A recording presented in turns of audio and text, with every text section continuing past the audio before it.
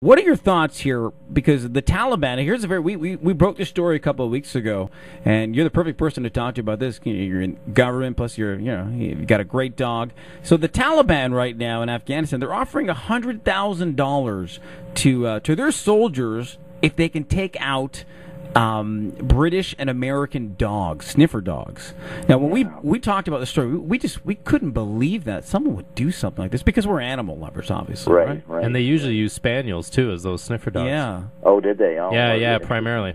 Yeah, and the spaniels, just you know, just because I didn't know this, but they can detect over nineteen thousand different scents of bomb material. So Wow, that's another facet of a very sad story of these extremists and uh, the lack of value of uh, any form of life, really, not just human life. So uh, I guess in one sense it's unsurprising because they they see it as total war, but. Uh, you know these. Uh, I'm very glad that we're able to use uh, dogs to help uh, save human lives. There's, there's so many stories, as you know, I'm sure on your program, of of uh, dogs who have gone out of their way to uh, to save their master. You know, who's broken a leg in, in the bush or is in danger of drowning or you know fell, fallen off the bluffs whatever it is, right? Uh, and uh, that's that's their that's their sense of uh, of saving, uh, you know, somebody they're attached to. So um, I- I'm, they're very valuable that way, and obviously the the bad guys uh, see that too.